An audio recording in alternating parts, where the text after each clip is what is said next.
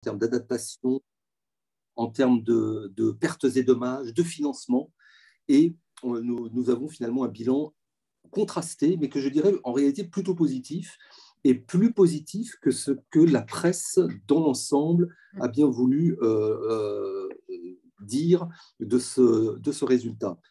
Euh, la, perception n'était pas très bonne pour la, la, raison de, de la théâtralisation finale. Vous avez tous vu dans cette plénière finale le, la, controverse autour du charbon, qui, finalement a été mentionné comme phase down, la diminution du charbon et non pas le phase out, qui était la suppression euh, du charbon. Et donc beaucoup euh, se sont euh, désolés du fait que c'était une reculade, alors qu'en réalité, quand on pense au point de départ, on n'imaginait pas un instant, en réalité, en début, en entrée de COP, qu'on pourrait avoir une mention du charbon et des énergies fossiles dans un texte chapeau euh, de, de la COP. Et donc, de ce point de vue-là, c'est en fait une, très grande avancée et qui marque finalement une nouvelle étape dans la lutte collective que nous menons contre les énergies fossiles. Donc, de ce point de vue-là, en fait, c'était plus un succès qu'une que, qu'une reculade euh, de mon point de vue. Alors, euh, euh, rapidement, je vais vous dresser un peu les, différents points que, que, nous avons vus en termes sur lesquels nous, avons euh, pris des décisions. quelques 57 décisions qui ont été adoptées par cette COP, dont les décisions chapeau pour chacune des COP à l'intérieur des COP, COP de l'accord de Paris, COP de, de, la CNUC et COP du protocole de Kyoto.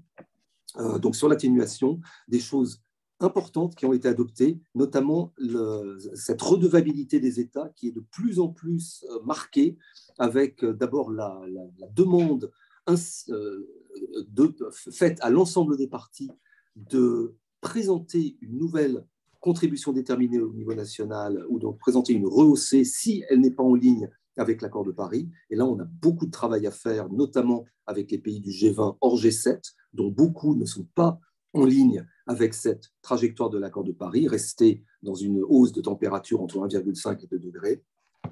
On a eu aussi du langage fort sur les stratégies de long terme, parce que de plus en plus de pays se fixent des stratégies, euh, des, objectifs net zéro ou neutralité carbone à l'horizon 2050, 60 ou 70, mais euh, on se demande parfois comment ils comptent s'y prendre, et ils devront euh, présenter une stratégie de long terme d'ici la prochaine COP également. Alors, nous, euh, en, matière d'adaptation, de, pertes et dommages, ça a été des sujets qui ont été assez, euh, assez difficiles, il faut, il faut le dire, puisque les pays en développement étaient très désireux de mettre plus l'accent sur ces questions. Euh, depuis, l'accord de Paris, en réalité, on s'est beaucoup concentré sur l'atténuation avec des, des, des, moyens de, de, de quantifier et de, de, l'appréhender qui sont très précises. Sur l'adaptation, c'est plus compliqué et on a ce qu'on appelle un, objectif global d'adaptation euh, qui est inscrit dans l'accord de Paris et qu'il euh, s'agit d'opérationnaliser. Et donc nous avons un, programme de travail maintenant pour les deux prochaines années pour précisément opérationnaliser euh, cela. Idem pour les pertes et préjudices qui concernent les, pertes irréversibles du, changement climatique.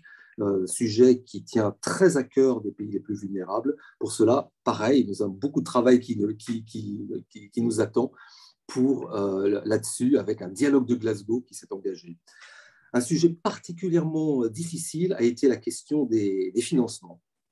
Euh, vous vous souvenez qu'en 2009, nous avions collectivement, nous, pays développés, nous nous étions engagés à mobiliser 100 milliards de dollars par an à l'horizon 2020 on s'est rendu compte euh, avant la COP que nous n'y étions pas, puisqu'en 2019, nous avons mobilisé un peu moins de 80 milliards. Et euh, c'était un sujet difficile parce que ça, renvoie aux questions de confiance entre les partis, de, manque de solidarité.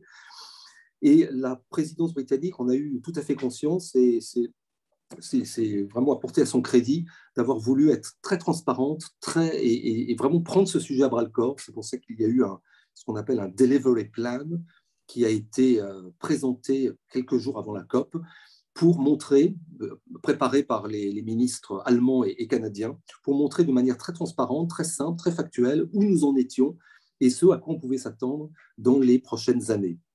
Et là, le, résultat était finalement là aussi contrasté. On s'est rendu compte qu'en effet, 2020, nous n'y étions pas, 2021 non plus, 2022 sans doute pas, mais qu'à partir de 2023, 2024 et 2025, les finances climat montaient en puissance de manière très sensible, à tel point qu'on peut espérer que sur la période, nous aurons en fait atteint les 100 milliards de dollars par an, comme promis, euh, entre 2020 et 2025. Euh, et, ça a aussi permis, ce, delivery plan, de mobiliser à nouveau la, finance climat et beaucoup de, donateurs, euh, et non des moindres, comme le Japon, ont fait des annonces assez spectaculaires, avec une augmentation pour le Japon, par exemple, de 2 milliards de dollars par an. Nous, France, pour euh, mémoire, nous sommes engagés à 6 milliards d'euros par an entre 2021 et 2025, avec 2 milliards d'euros qui sont consacrés à l'adaptation. Et ça, ça fait partie de, cet effort que l'Union européenne euh, fait de manière assez très significative en réalité, puisque nous, nous, collectivement, l'Union européenne, nous fournissons 22 milliards d'euros, euh, euh, d'euros par, an sur les, les, 80 milliards qui sont, qui sont disponibles par les pays en, développés. Donc cette question des finances, elle reviendra sur la table puisqu'on parlera euh, de la, de la finance post-2025 déjà à la prochaine COP. On, en a, un peu, on a commencé à, poser les bases de la discussion à la COP 26. Et puis, nous nous, nous nous, sommes aussi engagés, ça c'est un point important qui a été peu relevé par la presse, nous nous sommes engagés collectivement, pays développés, à augmenter la finance pour l'adaptation, de la porter à, de, la doubler euh, à l'horizon 2025 par rapport à 2019.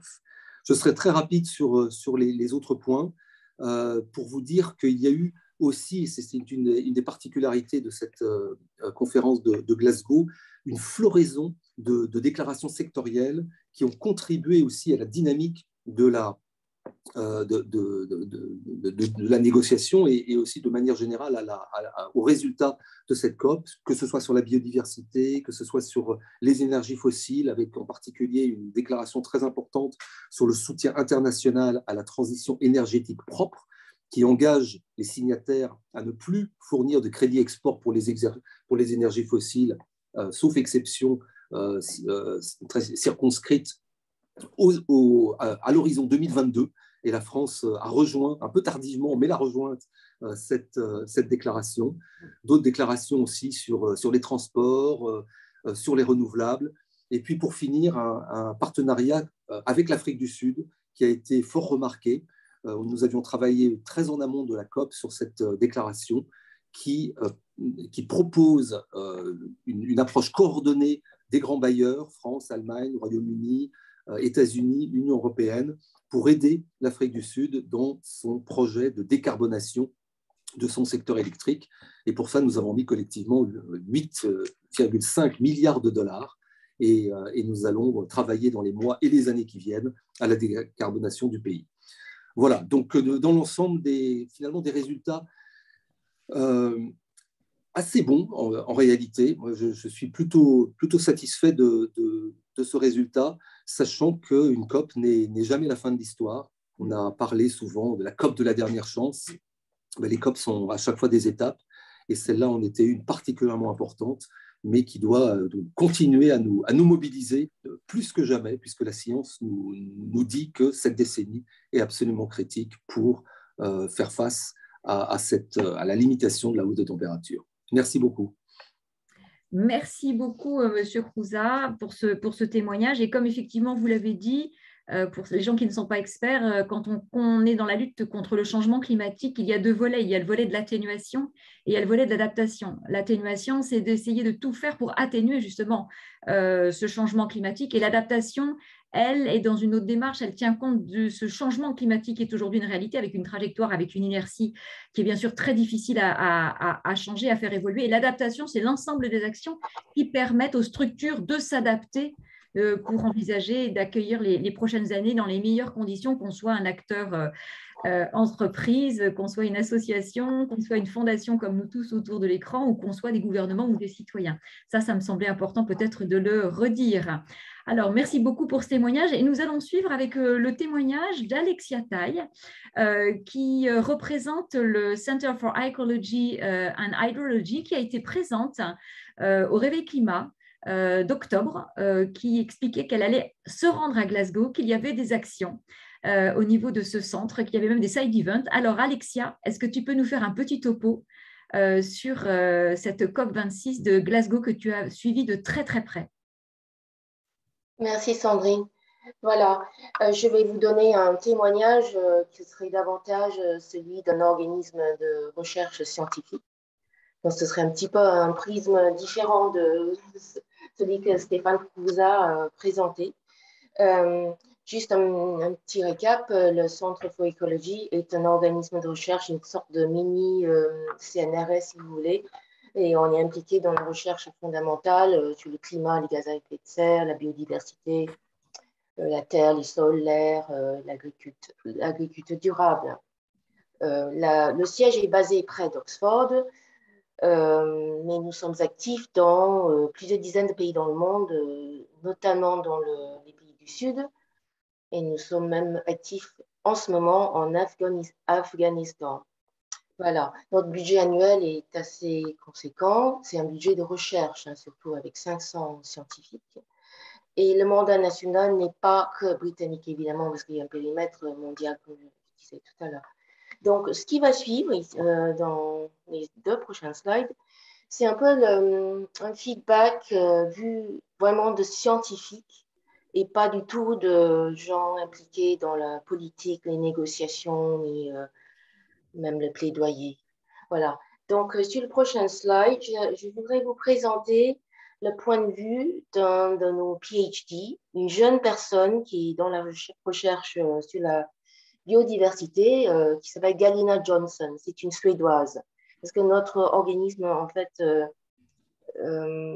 compte plusieurs dizaines de nationalités différentes dans son effectif, énormément d'Européens, nonobstant le Brexit. Et donc, Galina Johnson, une jeune chercheuse PhD, qui s'est rendue à Glasgow, moi, j'y ai pas été. Euh, C'était pas un événement où on était représenté en force non plus. Hein. Et donc, elle euh, a donné un petit témoignage, a même écrit un blog sur son expérience. Et en clin d'œil à Greta Thunberg, et elle dit blablabla. Bla, bla. Parce qu'effectivement, il y avait beaucoup de blablabla. Bla, et comme beaucoup de jeunes personnes, elle pensait que, bon, elle était très sceptique euh, de l'utilité de ce type de grosse euh, kermesse. C'est un petit peu euh, une sorte de gros, grosse réunion. Donc, elle a beaucoup regretté le fait que il y avait si peu de progrès malgré 25 COP déjà. Stéphane avait dit tout à l'heure que chaque COP est une étape et c'est le cas de le dire. Euh, Galina aussi, elle dit qu'elle était totalement impressionnée par la taille, l'immensité de l'événement avec 20 000 participants euh, sur une, énorme superficie. Euh, et un regret que je pense que certains d'entre vous ressentent aussi, pourquoi deux conventions internationales traitant séparément le climat et la biodiversité C'est un peu insensé. Donc, mais, mais, sur le prochain slide, Galina dit quand même que on a eu des résultats qu'on n'aurait pas eu s'il n'y avait pas eu cette COP26, notamment ce lien qui était vraiment plus fermement établi entre la biodiversité et le climat. Parce que pour une fois, les textes ont été renforcés à cet égard via le, volet Land and Nature, où les règles d'application de l'accord de Paris ont été précisées par rapport à la biodiversité. Et on a vu, par exemple, la signature d'une déclaration pour inverser la déforestation et la dégradation des terres avec une deadline 2030, etc. Donc, tout ça, c'était vraiment le, le témoignage de personnes pas du tout impliquées dans les négociations entre presque 200 pays, mais plutôt des gens euh, en marge, c'est-à-dire les non-advocacy, tous ceux qui n'étaient pas dans les plaidoyers, tous ceux qui font partie des ringos, oui, euh, dans la recherche et tout ce qui est indépendant, qui n'ont pas d'agenda à vendre, mais dont le, la responsabilité même, la responsabilité est de fournir des connaissances scientifiques objectives et fiables aux décideurs. C'est vraiment la fonction et la responsabilité des gens comme nous, les scientifiques. Voilà. Donc Galina, elle a passé beaucoup, beaucoup de temps euh, au sein des observateurs, hein, en dehors des délégations officielles, avec des peuples indigènes, des entreprises, des représentants de la société civile. Bref, toutes les parties prenantes qui devraient être impliquées dans ce combat, n'est-ce pas? Donc, je termine avec un dernier slide où, en dehors de, des témoignages personnels de, notre jeune PhD, je voudrais vous, vous, annoncer aussi un résultat plus euh, officiel, si j'ose dire. Nous, avons lancé une coalition, une coalition qui s'appelle National Climate Science. Euh, c'est une coalition entre plusieurs centres de recherche et l'Office national météo, qui s'appelle la Met Office, euh, pour fournir des informations, des données d'observation de prévision euh, scientifiques euh, sur l'environnement, que ce soit l'environnement construit, l'environnement naturel ou la santé, sur le Royaume-Uni et aussi les pays en voie de développement et ces, ces, données, on va les fournir euh, aux décideurs, c'est-à-dire les politiques et les entreprises, en, employant aussi euh, tout ce qui est euh, le dernier cri en matière de technologie, hein, machine learning, digital twins, etc., tout ce qui est AI, etc. Et le but, là, c'est très, très british, évidemment, pour que le peuple puisse épouser cette cause de protection du climat, il faut que chacun puisse en vivre aussi. Et donc, cette approche très british, c'est qu'il faut créer des emplois. Donc, l'idée de travailler avec des entreprises de très, très près, c'est de leur euh, fournir des informations pour qu'ils puissent répondre à ce défi et de créer des, des emplois, tout simplement. Et on appelle ça euh, la, construction d'une économie verte. Tout ce qu'on a parlé tout à l'heure d'adaptation, etc. Voilà, donc les résultats étaient positifs même si pas, on ne peut pas dire que ce soit exceptionnel, mais globalement, c'était très positif euh, euh, vu de notre euh, angle. Merci beaucoup et je passe la parole. Merci Alexia, effectivement, c'était tout à fait éclairant. Donc, nous enchaînons avec un autre témoignage, Mathieu Jousset, directeur du pôle carbone, de l'action carbone solidaire de Good Planet. Mathieu, un bel exposé aussi, encore un autre témoignage, c'est à toi. Bonjour. Euh, donc, oui, donc moi, je représente euh, à la fois une fondation et une ONG. Donc, effectivement, on a regardé attentivement euh, les résultats de la COP26 qui ont un impact aussi directement sur nos activités. Hein, pour être très, très rapide sur nos activités, la Fondation Good Planet, on travaille à la fois sur de la sensibilisation à la protection du climat, de l'environnement et à la solidarité, mais également à l'action auprès des entreprises pour la mesure, la réduction de leur empreinte environnementale, mais également dans le développement de projets de terrain qui ont un impact à la fois climatique, sur la biodiversité et sur le bien-être humain dans les pays en voie de développement et les pays les moins avancés. Et donc, il y avait notamment pour nous un enjeu sur ce qu'on appelle l'article 6. Donc, je vais en parler euh, assez, euh, assez rapidement, mais pour vous éclairer aussi sur quel est l'enjeu associé à l'article 6. On peut du coup euh, passer sur la prochaine slide. Merci beaucoup. Donc, pour, euh, pour, vous récapituler euh, effectivement les principaux enjeux, donc, ils ont déjà été rappelés précédemment en partie, mais donc, il y a un travail pour nous autour de quatre enjeux majeurs qui étaient au cœur de cette, de cette COP. Un premier qui était effectivement de rehausser l'ambition euh, pour qu'en fait on puisse euh, être en, ligne avec la trajectoire de l'accord de Paris qui était euh, entre 1,5 et 2 degrés à horizon 2100. on a démarré le sommet avec une trajectoire plutôt autour de 3,5 degrés si on faisait la somme des engagements des différents États donc qui était effectivement bien au-delà de, l'objectif. un des objectifs était aussi d'accélérer la sortie des énergies fossiles par des engagements plus importants des États en ce sens. de travailler à un meilleur financement de l'adaptation au changement climatique des pays en voie de développement et des pays les moins avancés, et enfin d'encadrer le financement de, le fonctionnement de tout ce qu'on appelle la finance carbone, donc justement ce qui est au cœur de l'article 6, c'est-à-dire en fait quel est le rôle des crédits carbone dans l'atteinte des objectifs des, des pays qui sont voilà, généralement en, demande de mécanismes d'adaptation, de flexibilité par l'achat de crédit carbone. Donc, qu'en est-il des résultats par rapport à ça Selon nous, il y a, on peut passer à la prochaine slide. Il y a toujours un petit peu de latence, c'est normal. Oui, bien sûr. En termes de, en termes de, plus de conclusions, on a une ambition qui a été finalement relativement bien, bien travaillée, hein, puisqu'on a eu euh, une, euh, je dirais une trajectoire qui a été ramenée entre 2,4 et 2,7 degrés. Donc, on a quand même gagné euh, en termes d'ambition, ce, qui est plutôt, ce qui est plutôt à saluer.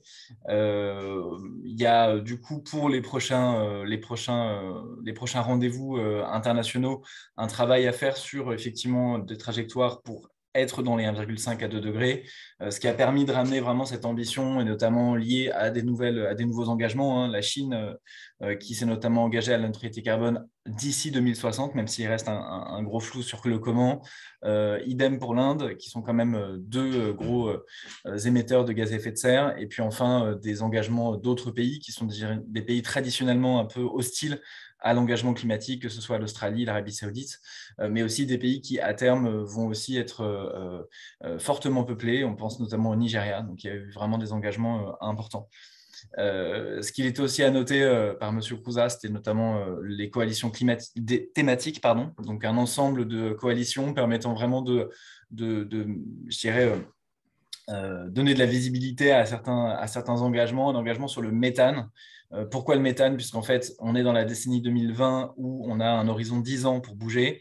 Le méthane est le gaz qui, euh, je dirais, euh, a, une très faible durée de séjour dans l'atmosphère et qui, du coup, par une réduction de, des émissions de méthane, permet d'avoir un impact rapide sur les températures.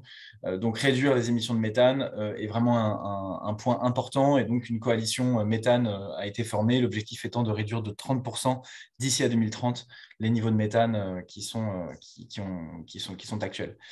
Euh, donc ça, c'était signé par plus de 100 pays, une coalition aussi de déforestation qui promet effectivement de, stopper, en tout cas d'inverser la tendance par rapport à la déforestation d'ici à 2030, et enfin l'abandon progressif des énergies fossiles, ce qui est appelé coalition BOGA, mais qui a été rappelé précédemment sur vraiment l'arrêt de projets, euh, de projets fossiles et notamment de projets n'ayant pas euh, d'infrastructures de, captation de CO2 en sortie euh, des usines. Donc ça, c'est vraiment sur les constructions thématiques. A des enjeux qui sont donc là qui étaient toujours en discussion et on peut passer à la, à slide d'après, mais qui en fait ont, donné aussi une vue globale sur le niveau d'ambition qui est encore à consolider. Euh, on voit là aujourd'hui les prévisions euh, en fait de production d'énergie fossile avec euh, un peu les prévisions mondiales business as usual que vous voyez sur la, la je ligne, la ligne orange, euh, les engagements des pays, donc qui effectivement, euh, suite à la COP, euh, à la COP 26, permet de réduire sensiblement cette, cette, production d'énergie fossile. On revoit en revanche qu'il y a toujours un décalage avec un scénario accord de Paris, donc soit trajectoire 1,5, soit trajectoire 2 degrés. on voit clairement que c'est le nœud du problème, hein. c'est le travail sur les énergies fossiles qui a longtemps été un tabou même dans les textes où nommer les énergies fossiles, ça a mis du temps la COP26 a vraiment mis euh, des mots dessus.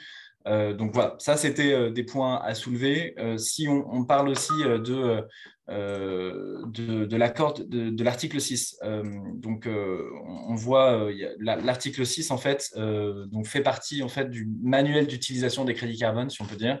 Les crédits carbone, pour vous rappeler ce que c'est, ce sont donc des une tonne de CO2 équivalent, c'est-à-dire c'est vraiment ramené à, un indicateur CO2 euh, qui est soit évité, donc euh, soit séquestré sur un projet euh, et qui peut être acheté par une entité, une organisation ou un pays pour, je dirais, neutraliser une partie de ses émissions. Donc, cette, ce mécanisme-là était au centre des débats pour, parce qu'en fait, ce marché-là était bloqué depuis la fin du protocole de Kyoto, avec le marché qu'on appelle le mécanisme de développement propre, qui permettait aux États d'acheter des crédits carbone permettant de contribuer à leurs objectifs de réduction. Donc, euh, l'article 6, euh, avec deux, euh, deux articles, hein, le 6.2 et le 6.4, a permis notamment de débloquer en fait les crédits qui étaient en stock. Donc, on appelle les crédits de mécanisme de développement propre, permettant aux États en fait de continuer à acheter ces crédits-là.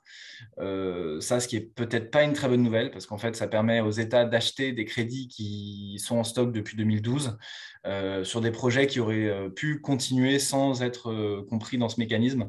Donc là, il y a un risque un peu d'acheter des crédits de mauvaise qualité, euh, parce que c'est vraiment des vieux crédits euh, euh, qui, veulent, qui veulent être écoulés. Donc ça, ce n'est pas forcément non plus très, intéressant. donc ça, c'est vraiment le mécanisme 6.4. Mécanisme 6.2, et qui là est, plus sur le mécanisme global de coopération. Ça permet en fait de développer des approches bilatérales ou multilatérales. On commence à le voir aujourd'hui, notamment entre la, enfin, la Suisse et le Pérou, euh, à des pays qui en fait euh, font de l'échange de crédits carbone euh, entre, entre les deux pays. Donc notamment la Suisse finance des, des projets à bas carbone au Pérou et le Pérou en fait transfère des crédits carbone à la Suisse pour du coup atteindre ces, enfin voilà, contribuer à, à l'atteinte de ces résultats. Donc il y, a, hum, des coopérations multilatérales ou bilatérales qui sont autorisés à travers ce nouveau système et permettent du coup à, un système un peu préexistant de mieux fonctionner et d'être officialisé. Et, je rajoute un dernier point qui est lié au double à la double compte, enfin, on peut dire double comptage, euh, qui est un des principaux écueils de ce mécanisme. Le double comptage, c'est quoi? C'est par exemple si on a d'un côté une entreprise et de l'autre un pays qui se disent euh, euh, compenser leurs émissions à partir des mêmes crédits carbone, là, ça pose un problème puisqu'en fait, cette double revendication de crédit carbone fait qu'on on dilue l'effort de réduction. Euh, on compte deux fois un effort, donc en fait, on lui donne moins de valeur. Et donc, il y a eu un, un, succès associé à Glasgow, c'est qu'en fait, on, a évité de travailler, enfin, finalement, on a évité cet écueil du double comptage par un, mécanisme qui s'appelle les ajustements, enfin les corresponding adjustments, et qui permet en fait à une entreprise euh, ou un pays voulant acheter des crédits carbone, donc euh, prenons une entreprise qui veut acheter un crédit euh, enfin, dans un projet qui se passe en Inde, eh bien, il devra demander à l'Inde de sortir ce crédit carbone de sa comptabilité nationale et de pouvoir du coup l'allouer à sa comptabilité propre. Donc, on a vraiment un mécanisme là intéressant permettant en tout cas de d'éviter d'avoir un crédit dans deux comptabilités différentes.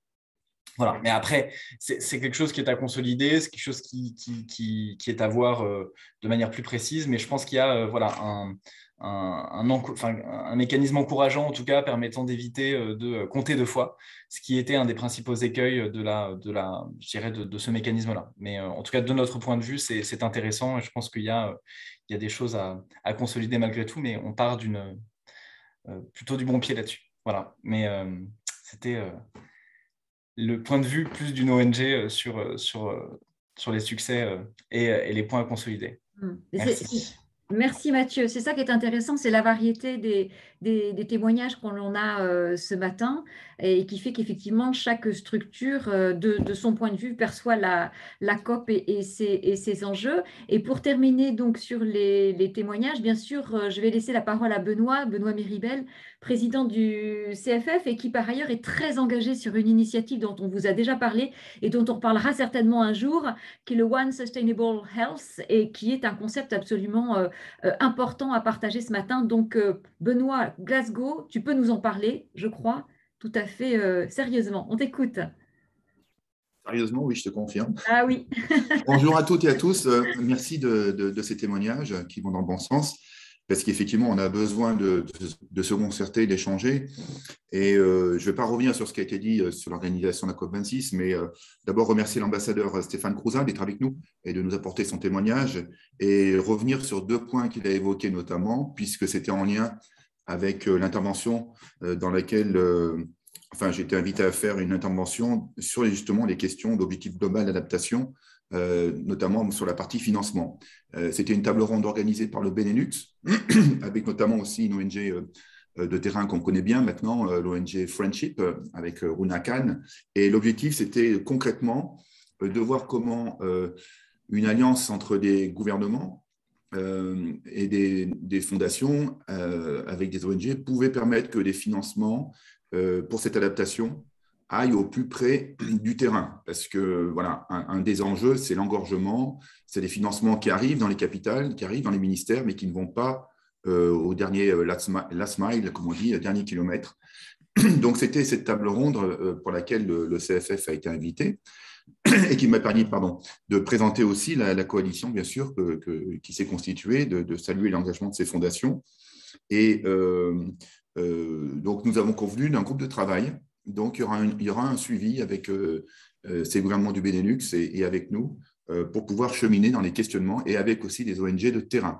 Bien sûr, le rôle des fondations dans ce cadre-là, qui sont souvent en articulation d'ONG, d'associations très proches des bénéficiaires, euh, va, être, va être important et je pense qu'on en reparlera. Euh, j'ai aussi pu assister à une table ronde organisée par l'OMS le samedi 6 euh, sur évidemment le lien santé, enfin tout ce qui touche climat, biodiversité et, la, et, notre santé. puisqu'on connaît ces liens d'un point de vue scientifique. Hein, le, réchauffement climatique a des incidences, bien sûr, sur le sur le sur l'environnement, le, végétal, l'animal, et sur euh, aussi les résistances antimicrobiennes qui grandissent. Je ne vais pas développer tous ces sujets, ils sont connus et euh, ils nous invitent à travailler davantage. Alors, j'ai entendu les différentes interventions et notamment aussi, euh, ça m'a rappelé que Yann Arthus Bertrand, puisqu'on on entendait Coup de planète tout à l'heure, Yann était sur place et a projeté Legacy. Et vous voyez à la fin du film Legacy, quand il dit, voilà, maintenant on est confronté à un début de confinement, euh, puisque c'était au printemps 2020 qu'est sorti son film, et, on voit la suite. La suite, c'est des variants, la suite, elle est compliquée. Donc, euh, il est très important euh, que nous puissions hein, intégrer, je dirais, des réalités de santé, par exemple, dans le Green Deal européen. je trouve que c'est considérable d'avoir un pacte vert au niveau de l'Europe, parce que ça a été des années de travail, mais il faut que ce pacte vert ait une approche holistique aussi des enjeux. Euh, et, donc, euh, voilà, nous aurons une réunion à Lyon. C'est euh, aussi une transition pour parler d'une réunion à Lyon qui se tiendra puisque la France va assurer la présidence de l'Union européenne. Il y aura une réunion le 11 février sur, sur les enjeux de santé globale, santé mondiale, avec les ministres européens des Affaires étrangères et les ministres européens de la santé. Et, et donc, en fait, c'est une réunion qui au départ, j'avais compris, pouvait être, c'était ma compréhension, environnement santé, mais en fait, elle va être très santé. Elle va être essentiellement santé, euh, vu les enjeux actuels que vous connaissez. Et il me semble opportun, justement, de procéder par aussi euh, bien rappeler la place de l'enjeu climatique, biodiversité dans cette réunion santé. Euh, donc, ce qui est vrai, vous m'entendez, euh, quand on parle du climat, biodiversité, tous nos enjeux, parler de la santé, mais également quand on parle de santé, parler du climat, etc. C'est comme ça qu'on progresse parce que les choses se tiennent. On voit bien que les pollutions, par exemple, avec tous les effets que l'on connaît euh, qui ont un impact sur le, sur le climat, le réchauffement climatique. Euh, toute la pollution est, une priorité majeure et elle est bien au carrefour, la pollution, les pollutions que, nous subissons, euh, de ces enjeux climatiques et, et, aussi de santé humaine. Voilà, donc c'était pour aussi vous annoncer cet événement et, et, nous verrons, on a eu effectivement un message d'encouragement de Laurence Toubiana, euh, qu'on a enregistré euh, pour ce lien entre justement euh, les enjeux du, climat, de la biodiversité et de notre santé, parce qu'on est tous concernés. Et je pense que ça parle de plus en plus aussi à la jeune génération, parce qu'aujourd'hui, on a de telles contraintes qu'elles nous forcent, mais les choses sont interconnectées. C'est le vivant qui est interconnecté. Voilà. Merci. Merci de, ton témoignage, Benoît. On a bien noté effectivement ce, rendez-vous du, 11 février euh, prochain. Et quand je disais sérieusement, c'est parce qu'effectivement, tu as été vraiment à Glasgow. Et donc, ça, c'est très important pour nous. Alors, on, a des questions euh, qui sont dans le, dans le chat. Je vais en lire euh, une première qui s'adresse à Stéphane Crouza.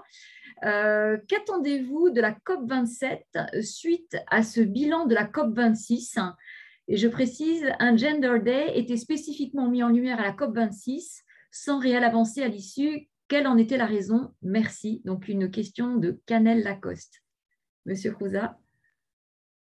Merci beaucoup. Euh, je réagirai aussi sur, euh, sur, certaines des autres interventions très, très intéressantes notamment sur, les, 20 000 participants. En réalité, nous n'étions pas 20 000, nous étions 39 500 participants à la COP26, ce qui a explosé tous les records, puisque le, dernier record était celui de la COP 21, avec 30 000 participants. C'est dire à quel point le climat, malheureusement, euh, suscite, euh, suscite beaucoup, euh, d'intérêt et, à quel point cette COP26 était, attendue. Du, fait du, nombre de, participants. Vous avez mentionné aussi, et ça je, reviens rapidement là-dessus, sur les, deux conventions. En fait, il y a même trois conventions, puisque Rio, vous vous souvenez, euh, en 1992, a donné naissance à trois grandes conventions sur le changement climatique, sur la biodiversité et sur la désertification. Et en effet, il y a trois COP, une par convention, et, on essaye d'ailleurs de plus en plus d'essayer d'établir des liens, des passerelles entre les, euh, entre les, différents sujets. Et c'est pour ça que la biodiversité apparaît euh, de manière assez, euh, assez marquée dans les conclusions de cette COP 26. En tout cas, c'est un, un, sujet très important.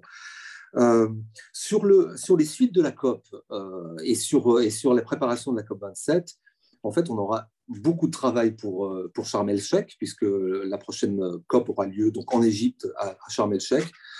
Euh, sur les différents volets. Ce sera d'abord sur la, question de, l'atténuation et sur le fait que les, États devront euh, rendre des comptes, vraiment, c'est-à-dire qu'on on ne, va, lâcher personne euh, pendant cette année avec beaucoup d'insistance et, je mets vraiment beaucoup l'accent sur les pays du G20 qui représentent 80% des émissions mondiales et, donc si on, ne trouve pas une solution en G20, on ne trouvera pas de solution à la question du changement climatique. Et, donc c'est pour ça que ces rencontres ministérielle sur le, sur le climat, puis des leaders euh, sur l'ensemble des sujets G20 sera particulièrement importante pendant euh, l'année euh, l'année prochaine en prévision de, de, la COP 27. Donc il y a toute cette question de l'atténuation qui, qui, va être extrêmement prégnante avec beaucoup de travail de, de plaidoyer à l'égard de nos, de nos grands partenaires. Il y a la question de la finance. Euh, ça continuera à être euh, extrêmement euh, prégnant dans les discussions. Il faut que la solidarité mondiale joue et il faut que nous puissions continuer, nous, collectivement, pays développés, à aider davantage les pays en développement, à la fois dans leurs projets d'atténuation, mais aussi pour faire face aux conséquences du changement climatique. Et donc, ça renvoie à la question de l'adaptation, donc les deux grands volets qui sont atténuation et adaptation. Il y aura aussi la question des pertes et dommages, qui est ce, concept qui est beaucoup monté en puissance euh, en amont et pendant la COP26, qui renvoie donc aux conséquences irréversibles euh, du changement climatique. Sujet difficile parce que ça renvoie à des questions euh, de, compensation, de, de, de, poursuite en justice. C'est pour ça que l'accord de Paris a été ciselé avec beaucoup d'attention pour essayer d'éviter euh, ce, genre de, de, s'orienter dans cette direction. Les, Américains en particulier étaient très très vigilants là-dessus. Euh, et puis euh, voilà, donc il, y aura, il y aura beaucoup de, beaucoup de questions sur, sur tous ces sujets. un mot sur le, sur le genre, c'est en effet quelque chose de très, très, très important et le genre d'ailleurs est, est, mentionné à plusieurs reprises, à la fois dans la décision chapeau et dans des, dans des décisions spécifiques de, Glasgow, euh, notamment sur euh, la question de, climate empowerment, donc euh, comme disent les, Québécois, l'encapacitation en, matière climatique. on sait que les, femmes sont les, plus affectées par les, conséquences du changement climatique dans, les pays les plus vulnérables en, particulier, mais aussi elles font partie des solutions. Et, donc, euh, cette, cette question est, très prégnante. J'ai vu aussi une question sur le, la santé mm. euh, dans le chat.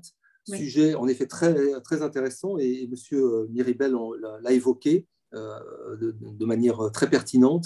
C'est quelque chose qui est certes mentionné, mais de manière en, réalité un, peu insuffisante, puisque je suis allé regarder, là, il n'y a qu'une seule référence à la santé de manière un peu incidente dans la, la décision chapeau.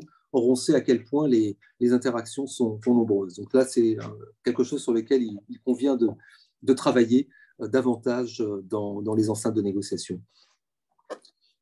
Ok, merci beaucoup. Effectivement, vous aviez beaucoup de questions dans le, dans, le, chat. Il y a même Marie-Stéphane qui a, je crois, insisté sur comment se passe le mécanisme d'affectation de ces fonds, les sujets retenus, la cohérence entre les engagements des différents États et surtout le suivi de l'impact de ces engagements. Euh, peut-être préciser un certain nombre d'aspects. parce que je trouve que la, question est assez précise.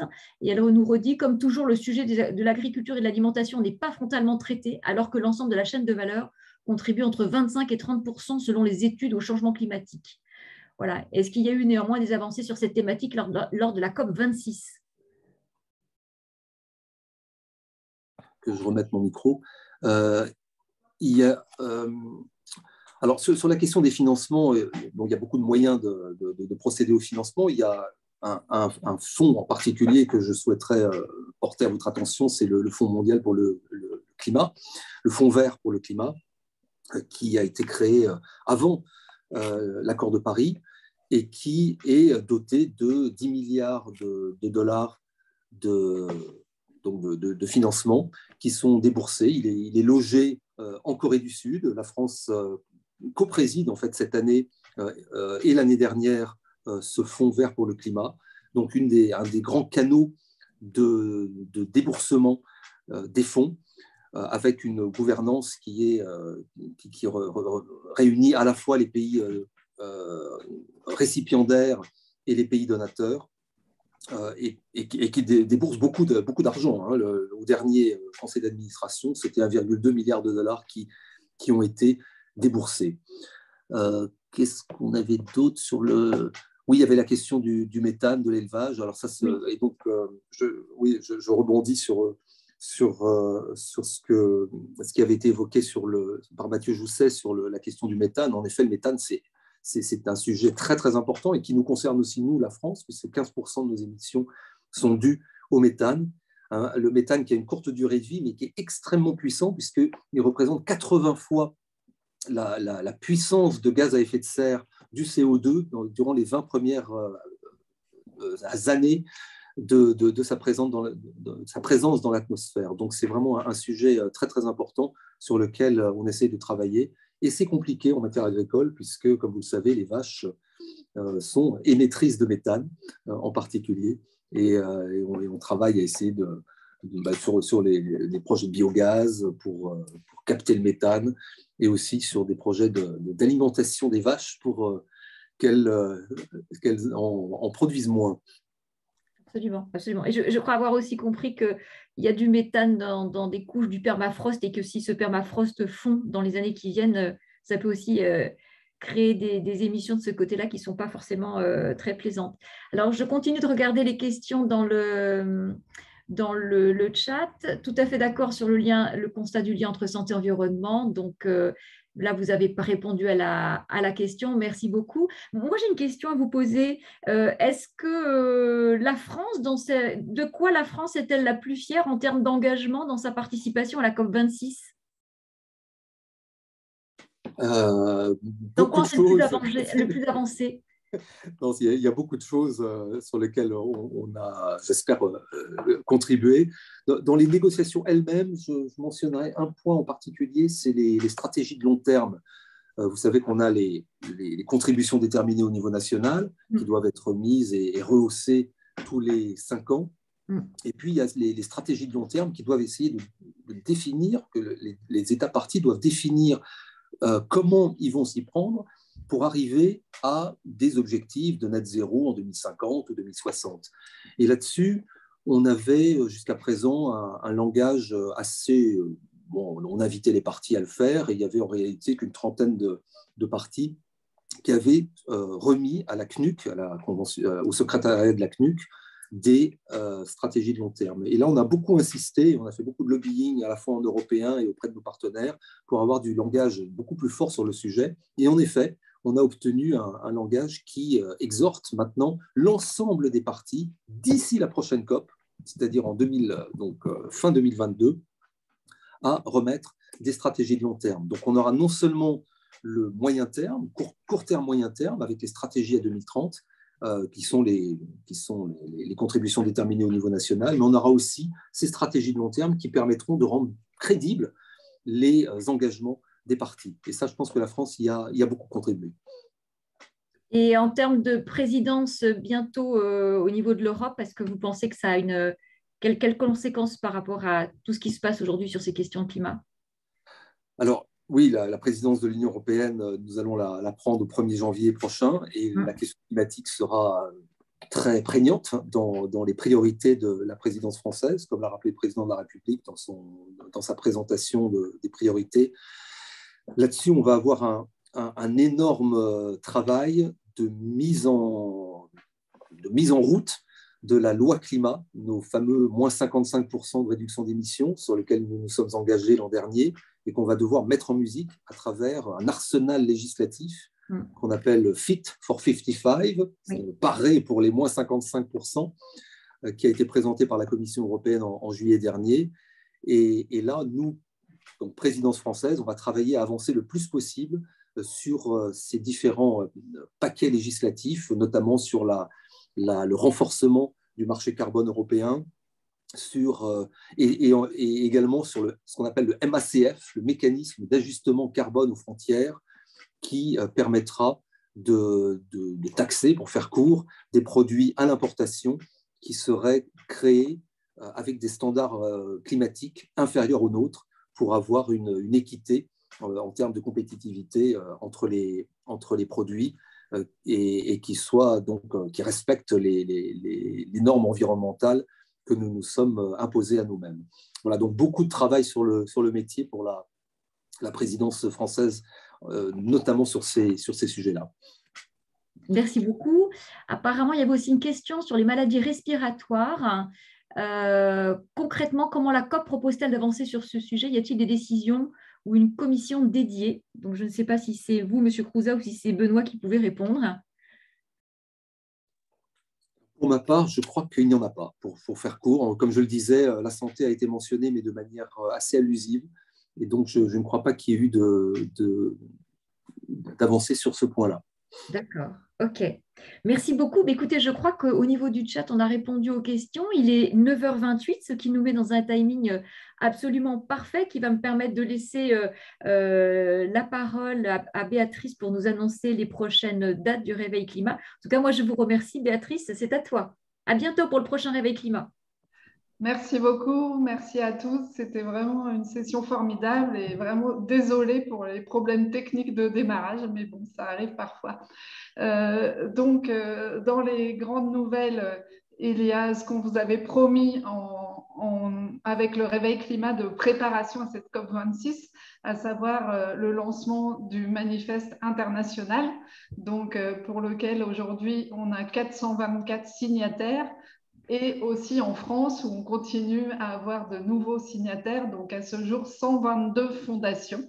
Et j'invite euh, bien sûr toutes les autres à nous rejoindre. Donc ce n'est pas un manifeste revendicatif, c'est un manifeste d'engagement pour intégrer euh, les critères environnementaux et climatiques dans le fonctionnement des fondations. Et on les accompagne sur ces sujets via des groupes de travail et bientôt des outils euh, pratiques. Donc, nous démarrons l'année euh, dès le 13 janvier, donc c'est toujours de 8h30 à 9h30 en ligne, avec euh, un thème euh, vraiment dynamique et multiple, à tel point qu'on a du mal à sélectionner les intervenants, il y en a trop, sur jeunesse et climat, puisque comme vous le savez, l'année 2022 est l'année européenne de la jeunesse. Donc, on s'est dit que c'était bien de commencer par là. Et ensuite, on vous fera part de tous les autres sujets, mais vous pouvez d'ores et déjà noter les dates. Le second rendez-vous important à noter pour ceux qui le souhaitent, c'est que nous reprenons euh, l'atelier des fondations, qui est le rendez-vous phare du Centre français des fondations, qui bien sûr n'a pas eu lieu depuis euh, deux ans. Donc ça sera du 6 au 8 avril à Annecy.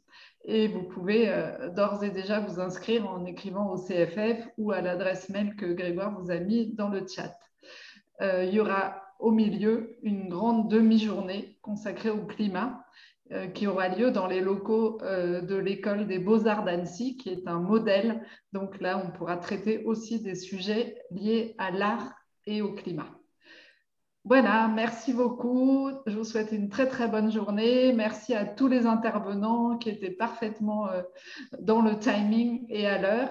Et à très bientôt. Je vous souhaite aussi de bonnes fêtes de fin d'année puisque c'est l'usage et c'est la période. Et donc à l'année prochaine. Benoît, vous voulez pas dire un petit mot de fin, Monsieur le Président Monsieur le Président? Non, non, merci. Ben, merci, non, non, merci à, notre euh, ambassadeur euh, Stéphane Croza d'avoir participé à tous les intervenants et à tous les engagements qui sont faits par les fondations et qui se, développent. On a eu une session il y a quelques jours avec aussi euh, Philéa, avec les responsables climat de l'Union européenne. Tout ça va de l'avant, il faut continuer, il faut se mobiliser. Et je salue toutes celles et ceux qui sont connectés aujourd'hui avec une très bonne journée à venir, j'imagine. Au revoir. Merci beaucoup, au revoir. À bientôt. Bonne fête à tous. Au revoir. bonne fête. Au revoir, merci. Au revoir et merci. Merci, au revoir. Du coup, c'est moi qui fais mon dernier. Béatrice Oui. Attends, je, ne déconnecte pas. On attend encore deux secondes. Je n'ai pas noté les questions dans, dans, le chat, en fait. Moi, je voulais les copier, mais je n'ai pas pu les copier. Tu les as copiées? Non, mais je vais le faire tout de suite, mais normalement, ça reste dans l'enregistrement. D'accord, parce que je ne les ai pas, c'était intéressant. Oui, vraiment. Tu pourras me les envoyer? Oui, oui, bien sûr. Moi, je ne suis, pas, je suis pas du tout en, l'administration, je ne peux pas les récupérer. Ah oui, c'est clair. Mais en tout cas, merci. Hein. Tout va bien. Super efficace et réactif comme d'habitude au démarrage. Tout va bien. Je ne sais pas du tout ce qui s'est passé, c'est vraiment curieux. C'est pas grave, ça arrive, il n'y a pas de souci. Ah ouais, on est d'accord. Voilà. Et même moi, on avait répété. Et, Grégoire, euh, et Grégoire aussi, désolé, j'ai cru que le slide de, Benoît avait sauté dans ma version. j'ai fait sauter le slide et j'ai cru que le, slide de Benoît avait disparu alors qu'il était bien là. voilà, qui est Pauline? Bonjour Pauline. Ah. tout le monde, c'est bon. tout le monde. Grégoire, ça va? Oui, il est là. Ok, super. Ouais, donc excuse-moi, j'avais un petit peu relancé sur. Euh, ah non, il n'y a aucun souci. J'avais relancé sur Benoît, mais je préfère prévenir. Hein. ouais, bah, c'est bien. Voilà. Merci pour, avoir meublé durant 5 minutes parce qu'en fait, on avait trop de liens Zoom. On avait, je ne comprends pas pourquoi. On avait deux liens Zoom, dont un que je n'arrive pas à savoir de quel compte il vient et, je ne sais pas comment c'est possible. Et bref, merci à toi. Quoi. Bah, il n'y a pas de souci. En tout cas, Stéphane Crouzet était vachement bien. Hein. Ouais, c'était La classe. Hein. C'est Anne Fleury qu'il faut remercier. Ah ouais, ouais, non, mais je vais, je vais la remercier, franchement, c'est la grande classe. Ça donne, ça donne envie de le faire revenir. Bah, je suis contente parce que du coup, il a annoncé où allait avoir lieu la COP27 que je voulais annoncer. C'est parfait. C'est super bien. Oui, j'ai fait exprès de redonner la parole à Benoît à la fin quand même. Bah, parce que j'avais le sentiment qu'il avait un truc à dire. Ben oui, mais en fait, je crois pas. Ben, moi, j'avais noté, qu'il voulait faire la conclusion. J'avais envie, j'avais noté que peut-être qu'il voulait faire un peu de raout sur Annecy. Donc, je sais pas. Voilà. Bon, c'est pas grave. Du coup, il a parlé de Filia. C'est parfait. Bon, bah, c'est bien. Je voilà. tout de suite le chat hein, en brut.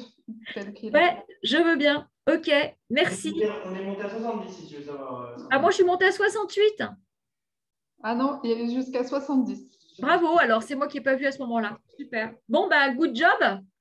Ouais, bah, merci surtout à toi. Hein. Ouais, euh, sur, le, sur la petite, le petit compte rendu que tu nous as fait, Grégoire, il y a une, petite erreur.